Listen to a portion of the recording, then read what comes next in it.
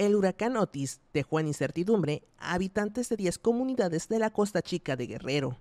Pese a que el mayor número de daños se centró en el puerto de Acapulco, los estragos del fenómeno también dejó bajo los escombros y lodo a más de 100 viviendas de pobladores del ejido La Barra en San Marcos.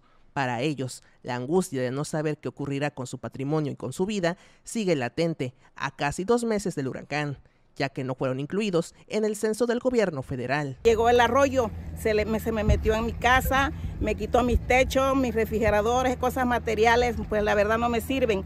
Los damnificados denunciaron que las afectaciones del huracán del pasado 25 de octubre llegó al sector educativo, donde las escuelas de la comunidad resultaron gravemente dañadas en salones y fachada.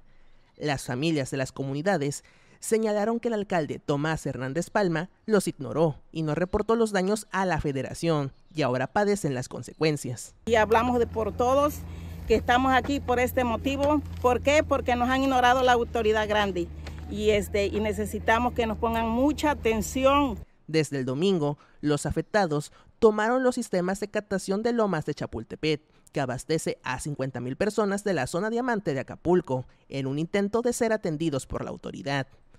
Con información de Carla Benítez, las noticias.